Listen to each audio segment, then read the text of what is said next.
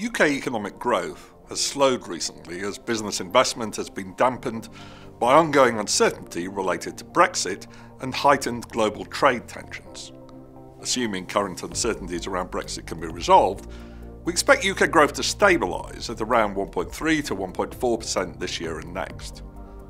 Risks are weighted to the downside at present due to the continued risk of a no deal Brexit. But there are also some bright spots in the economy such as record UK employment rates.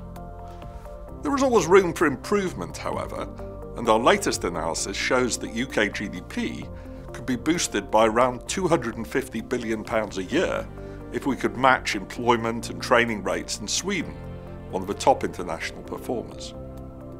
The housing market also still poses major affordability challenges for young people wanting to buy or rent.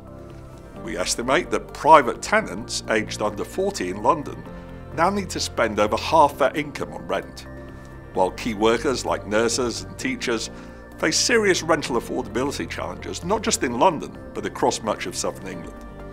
To find out more, click on the link to download our full UK Economic Outlook report.